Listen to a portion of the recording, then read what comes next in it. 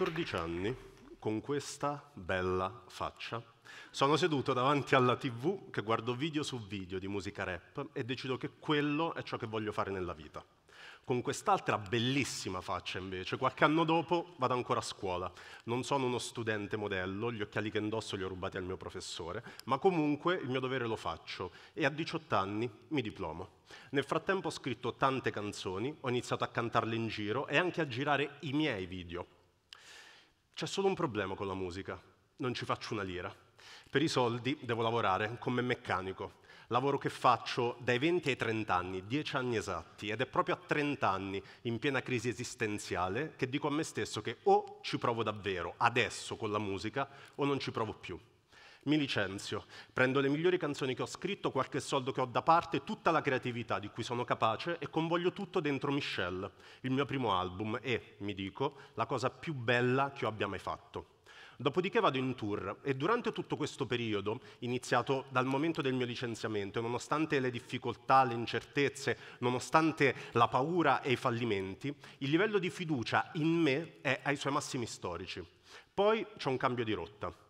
Firmo con una major, come prima cosa mi chiedono di non fare uscire un video a cui avevo lavorato per settimane e nel quale avevo coinvolto gran parte della mia community, perché prima è meglio girarne un altro di video, ma di un'altra canzone, però scelta da loro. Questa cosa mi destabilizza per diversi motivi, però alla fine accetto e il video lo giro, dandogli quel mio piccolo tocco personale. Dopodiché, calma piatta non sanno bene come lavorare al mio progetto e quindi bisogna aspettare. Anche questa cosa non mi fa sentire bene con me stesso, però se bisogna aspettare, aspettiamo, finché un giorno non vengono da me e mi chiedono se voglio provare a partecipare a Sanremo Giovani. Io penso che Sanremo Giovani non è mai stato un mio obiettivo, non penso nemmeno di essere il tipo di artista adatto né di essere preparato per un'esperienza del genere. Però l'alternativa è continuare ad aspettare, quindi piuttosto che niente, meglio piuttosto. Faccio tutto quello che va fatto, scrivo la canzone, faccio tutta la trafila di selezioni e alla fine a Sanremo ci arrivo davvero.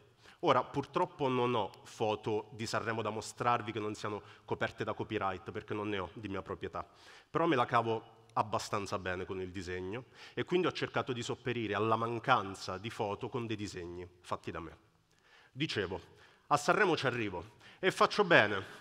Mi piazzo terzo, la mia canzone piace molto, la mia performance piace molto, io piaccio molto, ma nonostante tutto stia andando esattamente come deve andare, io inizio a non stare bene, a non stare bene con me, e la mia incrollabile fiducia che mi aveva accompagnato fino a poco prima, proprio adesso inizia a vacillare. Però non ho tempo per indagarne le motivazioni, perché bisogna subito partire per la promo. Ecco, di solito dopo Sanremo si esce con un nuovo album e si promuove quello, ma il mio nuovo album era già uscito e non ne avevo scritto un altro nel frattempo. Quindi quello che decidiamo di fare è cannibalizzare Michelle, la cosa più bella che io abbia mai fatto, cambiandogli la copertina, la forma, tutta la creatività al suo interno e ficcandoci dentro due canzoni che ben poco c'entrano con le precedenti. E poi in giro per l'Italia a promuoverlo questo nuovo album, negli in-store, i firmacopie, e poi un tour, ma stavolta con la band, e poi interviste, la radio, la tv e tantissimo social. E nonostante tutto quello che stia facendo sia giusto, nonostante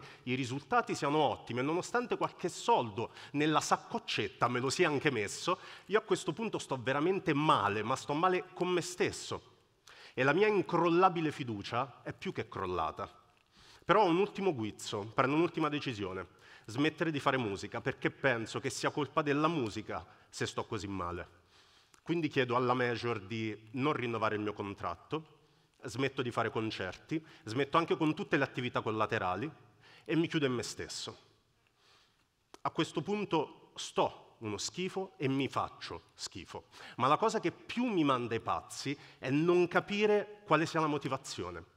È vero, avevo fatto cose di cui non ero pienamente convinto, ma i risultati, quelli erano stati ottimi e quelli mi erano davvero piaciuti. E poi la vita non è fare solo cose di cui si è pienamente convinti. Allora forse il problema non erano le cose che avevo fatto, ma quelle che non avevo fatto. Però ancora non capivo perché questa improvvisa mancanza di fiducia in me. Anzi, questa sensazione come se della fiducia fosse stata tradita. Allora mi sono chiesto, cosa succede tra due persone quando una tradisce la fiducia dell'altra? Di solito quella la cui fiducia viene tradita fa due cose, soffre e si allontana per tutelarsi. Allora cosa succede quando queste due persone sono la stessa? Cioè quando siamo noi a tradire la nostra stessa fiducia, magari non mantenendo una promessa fatta a noi stessi o non dando il giusto peso, il giusto valore a qualcosa che per noi è davvero importante, perché noi non possiamo allontanarci da noi stessi. Questa cosa mi aveva fatto pensare per un bel po' e ho formato nella mia testa una teoria che cerco di spiegarvi così. Immaginiamoci divisi in due. Da un lato la nostra parte curiosa e propositiva, dall'altra quella razionale e responsabile. Tra queste due parti c'è un patto, una promessa che si sono fatte. Mentre una si impegna sempre a dire all'altra cos'è che vogliamo davvero, l'altra si impegna ad ascoltarla. A entrambe è concesso sbagliare, così come a volte un nostro desiderio potrebbe essere dettato da un impulso passeggero, è una cosa che può capitare, o perlomeno che a me capita quasi quotidianamente, Dall'altro lato potrebbe capitare di non dare il giusto peso, il giusto valore a qualcosa che per noi è davvero importante. Ma questo non è un problema. Il problema c'è quando una di queste due parti non mantiene la promessa fatta all'altra, ovvero sia quando una smette di ascoltare o peggio ancora quando l'altra smette di desiderare. Perché è in quel momento che la promessa viene infranta e quindi la fiducia viene tradita e poi persa e al suo posto si fanno largo sentimenti come la delusione, la rassegnazione, a volte persino il rancore. Però c'è un fatto, che queste due metà siamo sempre noi e tutti quei sentimenti sono sempre nostri. Riguardando la mia vita, mi sono reso conto di come io abbia sempre desiderato e ascoltato e finché ho fatto questo, nonostante i fallimenti che vi assicuro ci sono stati e sono stati anche belli grossi e frustranti, però la fiducia in me è sempre rimasta alta e ha fatto anche da fondamenta per reggere il peso di tutte quelle cose che non volevo davvero fare, ma che dovevo fare, che forse a volte era anche giusto fare.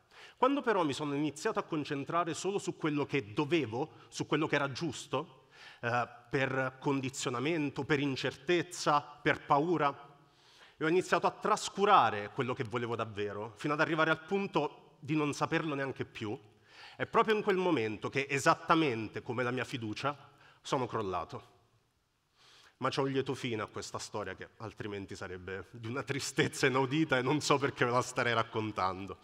Sono riuscito a ricostruire la fiducia in me e semplicemente facendo due cose, tornando a desiderare e ad ascoltare. E quindi ho ripreso a fare musica dapprima con un album fatto partendo tutto dai suoni della mia voce, una cosa molto sperimentale perché volevo farlo così. E poi ho continuato a scrivere canzoni, ne sto pubblicando una al mese da circa un anno ho ripreso a girare i miei amati video e a girarli esattamente come e quando voglio. Sono tornato sul palco a fare concerti, ho allargato la mia community con la quale ho un rapporto molto più stretto di quanto non abbia mai avuto prima e già che c'ero ho anche iniziato a studiare pianoforte. E chissà cosa sarà la prossima cosa che sentirò davvero di voler fare. Quindi, tutto sommato...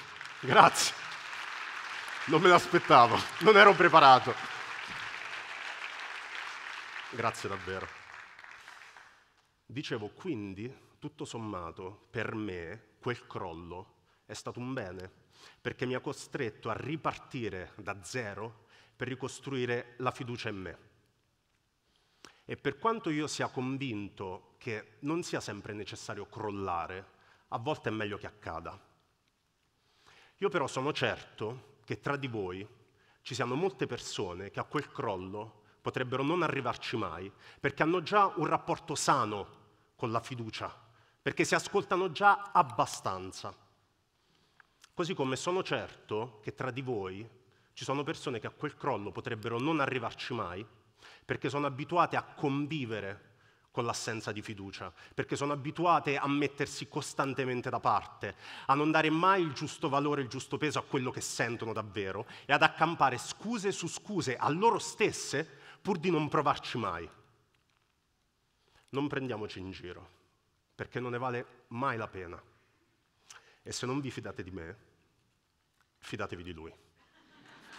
Grazie.